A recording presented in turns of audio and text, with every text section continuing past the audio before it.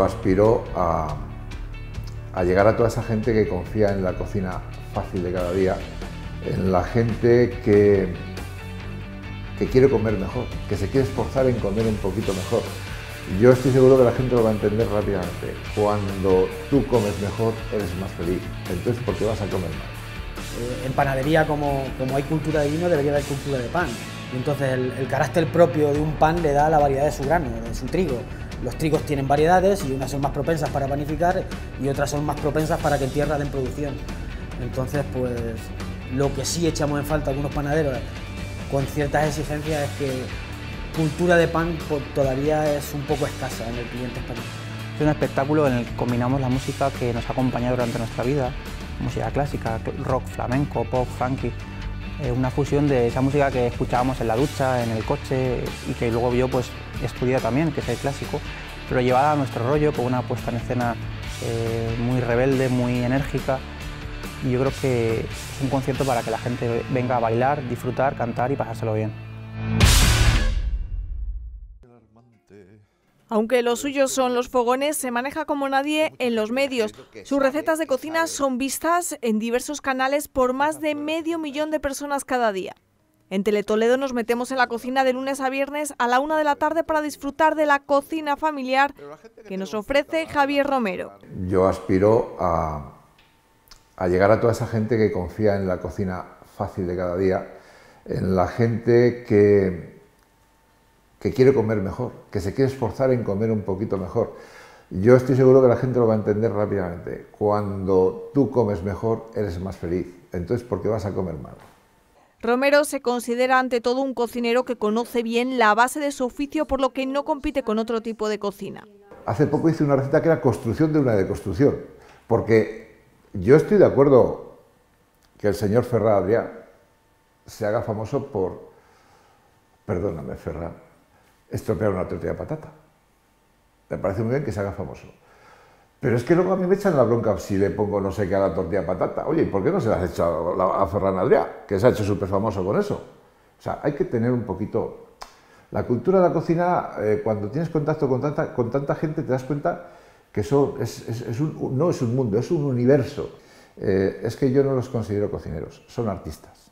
Son artistas súper especializados en algo, tienen unos conocimientos muy evolucionados, y se dedican a crear arte. Esos platos son más artísticos que comibles, por eso hay mucha gente que no entiende ese tipo de, ese tipo de cocina. La gente dice, ah, es que llegas allí y no comes casi. No, no, a ver, tú cuando vas a un restaurante de estos tienes que saber a lo que vas.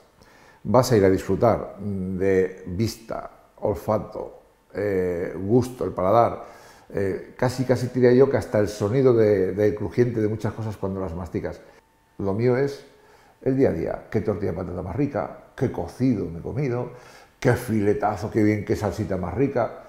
Con 52 años, Javier perdió a causa de la crisis su empresa de servicios. Tras sufrir muchos rechazos, tuvo que reinventarse por completo. Apostó por Internet y ahora en su canal de YouTube hay más de 1.500 recetas publicadas, algunas de ellas con más de 5 millones de visionados. Es como si no interesara que la gente mayor pueda demostrar que en esta vida se pueden hacer muchas cosas, incluso en un mundo de jóvenes como es Internet, porque yo he empezado en Internet. Y en Internet es donde he cogido cierto prestigio. ¿Y qué pasa? ¿Que esto es solamente para los millennials o para los de 20 años, 25? Por Dios, si Internet es público. ¿Por qué, ¿Por qué no hay que darle a, a, la gente mayor esperanza? ¿Y vas a buscar trabajo? Y no. 52 años gordo y feo. Ya. Porque hay muchas personas mayores en este país que lo han pasado muy mal y lo siguen pasando muy mal. Y a mí me da mucha rabia que o eres joven y guapo o no sales por la tele. Bueno, pues mira, gordo y feo y salgo por la tele. Ahora, en su programa de televisión se ha impuesto un nuevo reto, rescatar recetas tradicionales para que no se las trague el olvido. Quiero que hagáis memoria esas recetas que conocéis de, de la niñez, que se hacían en vuestra casa y que ya no se hacen. A ver, sé que me vais a mandar un montón y que desecharé bastantes, porque resulta que a lo mejor vosotros pensáis que no se hace y seguro que se hacen. Pero todas aquellas que yo estoy seguro que van a, ser, bastantes, que merezcan la pena, las voy a intentar sacar para darlas a conocer y que la gente que me ve vuelva a cocinar esas recetas que hacía tu madre, tu abuela, tu abuelo, todo el mundo en tu casa. Así es que hazme caso, ¿eh? Ya sabes, en, el programa te aparece un telefonito ahí, que ahí me puedes mandar por WhatsApp, me puedes mandar como quieras. Mándame esas recetas, que las haré con mucho cariño y nos lo vamos a pasar bien, ya lo verás. Ya lo sabes, tienes una cita con la cocina familiar de Javier Romero en Teletoledo, de lunes a viernes a la una de la tarde y los fines de semana a partir de las diez y media de la mañana.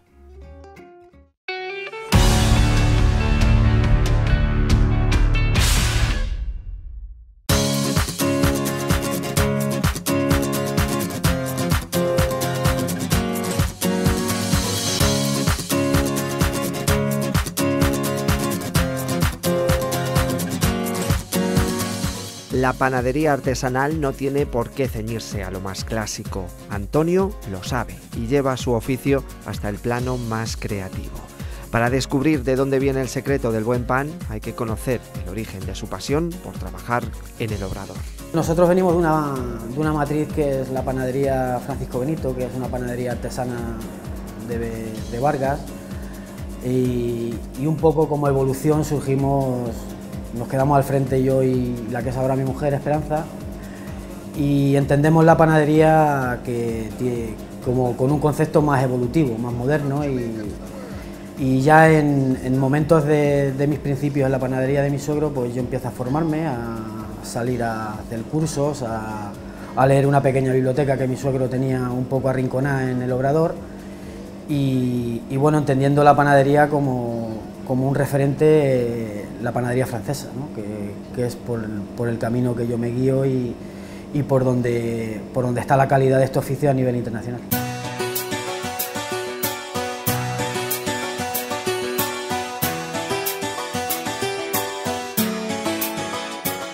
Yo como panadero considero que, la panadería para diferenciarse tiene que tener un, carácter propio ¿no? también. Eh, eh, una modernidad y siempre, siempre basándonos en los, pilares de, la tradición, pero, pero, dando un toque de innovación y, de, y de, creatividad. En eso tenemos larga experiencia porque, porque nosotros la bollería creativa y los panes elaborados pues que ahora están de moda, tan, tan en auge como es panes elaborados con fermentados con masa madre, eh, la harina molida a la piedra, eh, panes elaborados con harinas procedentes de trigos ancianos o antiguos como la espelta, camut, etcétera, pues nosotros llevamos tiempo en, ese camino y, en un principio en Toledo pues, pues costó, ¿no? pero, pero ahora eh, en este momento creemos que, incluso es moda, eh, la gente se acerca a este tipo de panes ya no solo por su poder gastronómico, sino por, por, su, por, su, potencial saludable, ¿no? porque panes elaborados con fermentaciones largas a base de masa madre, pues, pues bajan muchísimo el índice glucémico de las harinas y son mucho más digestivos y mucho más apropiados nutricionalmente.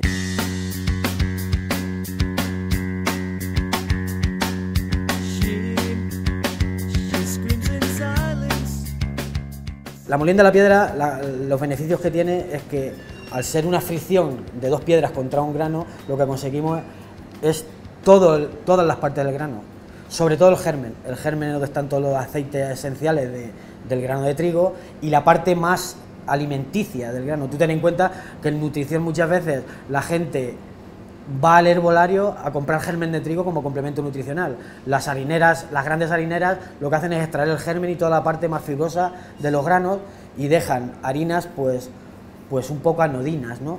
Entonces todo el potencial les traen por una parte y luego nos vamos a comprar a los herbolarios complementos vitamínicos que cuando una harina está bien molida, pues con, una molienda tan arcaica, pues concentramos pues todo el potencial nutritivo que el grano tiene. Un pan integral no bien fermentado o, no bien manipulado, en muchos casos, inhibe de la, de la absorción de minerales y lo que hacen los panes integrales vienen bien fermentados con masa madre y, muchas horas de fermentación es todo lo contrario, potencian, potencian la absorción de, todos los nutrientes. Nuestra panadería tiene un gran auge y, cada vez eh, más interés. Nosotros también tenemos un, público un poco predispuesto a eso. Nosotros tenemos público de la universidad, del Ayuntamiento de Toledo, de, de banca. Eh, entonces tenemos un público que, tiene cierto interés o, está un poco al corriente de las tendencias alimenticias. ¿no? Entonces ese tipo de panes, evidentemente, cada vez más el cliente se interesa por ellos. Pero no cabe duda que el pan, el pan común, por ejemplo, la barra de Viena nuestra del día a día, pues es, digamos, el porcentaje más amplio que se vende es, el pan común. La bollería laminada o, laminada fermentada, como la bollería fermentada, cuando hablo de estos dos tipos de bollería, cuando hablo de bollería laminada fermentada, estamos hablando de croissant y napolitanas, por ejemplo, y cuando hablo de bollería fermentada hablo de suizos, por ejemplo, para que nos hagamos una idea. Pues nosotros lo que intentamos es que, la materia grasa que utilizamos sea de altísima calidad. Mm, voy a hacer una referencia otra vez a Francia, pero, pero es así. Nosotros toda la bollería la trabajamos con mantequillas francesas y, luego con harinas pues, pues también apropiadas para, para, ese fin. ¿no? La bollería tiene una técnica de, proceso que no tiene nada que ver con el pan y, entonces pues son son técnicas distintas, la panificación es una cosa y, la, y elaborar bollería es otra. Uno por simpleza, que, no deja de ser complicado, es el croissant. Un buen croissant de mantequilla es muy complicado encontrarle. El croissant es un producto que al parecer le vemos siempre en la mesa para mojarle en el chocolate o en el croissant y no deja de ser una pieza de bollería bastante compleja en su regularidad y en su crujiente, es un producto que tiene que ser muy estable y, y a mí pues le tengo un gran respeto. Otro es la baguette. La baguette, la baguette pues dentro de su, de su demonización en la que, en la que entra pues, pues por, el, por el tratamiento que se le está dando, una buena baguette para mí define mucho también a un buen panadero. Y otro de los grandes, de los grandes símbolos de la panadería, de, los grandes iconos, o no sé cómo denominarlo, es el panetone, que para mí, por ejemplo, técnicamente me parece el rey de la bollería. ¿no? el panetone, cualquier panadero que se digne, eh, siempre ansía llegar a, elaborar un gran panetone. En mi caso, a mí me ha costado como 10 años llegar a entenderle su fermentación, su, comportamiento, pero luego como resultado del panetone, pues el panetone gastronómica y organolépticamente no tiene comparación, porque el panetone se elabora con una masa madre muy reforzada, eh, es fermentación espontánea, que es fermentación natural, no tiene ningún gramo de, levadura química, digamos, y luego con las cargas de grasa, de azúcar y de huevo que tiene, pues, pues estamos ante un bollo de una categoría inmensa. Desde bien temprano, este maestro panadero continuará amasando para ofrecernos cada mañana el mejor bocado de pan.